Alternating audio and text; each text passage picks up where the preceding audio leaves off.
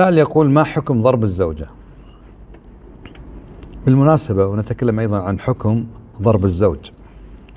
للأسف الآن نسمع وفي المحاكم وفي المخافر قضايا حتى الزوجة تضرب الزوج. وهذا دليل على فشل الزواج. النبي صلى الله عليه وسلم بالعموم يقول المسلم من سلم المسلمون من لسانه ويده.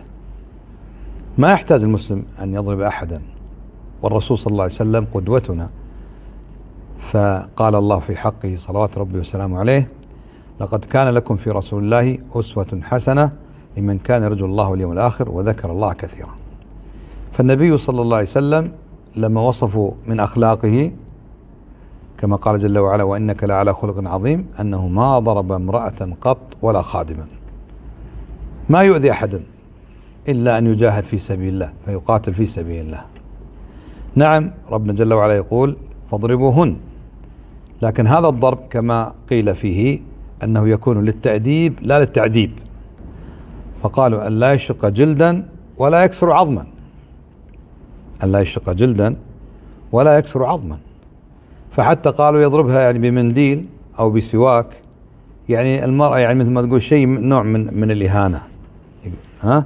مش يضربها بآلة حادة ولا آلة ولا بنعل ولا يعني خشب غليظ.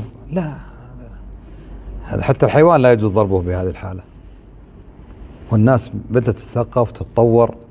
حتى الضرب في المدارس الآن الأطفال منعوا ضربهم. فكيف يأتي واحد يتزوج فتاة أو امرأة ويضربها؟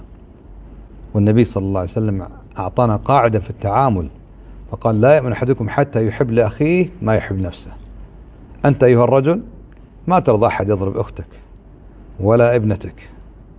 فكيف أنت تأذن لنفسك أن تضرب ابنة الناس وأخت الناس؟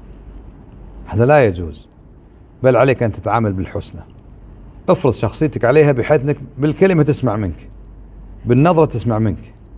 لا بالضرب فإن كان لابد من الضرب الذي ذكر الله في كتابه فيكون ضربا يعني غير مؤذي وإنما هو للتأديب وليس للتعذيب. لا يشق جلدا ولا يكسر عظما. هذا هو التوجيه الصحيح إن شاء الله لهذه الآية وليس المراد أن يضرب الطالع والنازل فهذا من الإيذاء المحرم.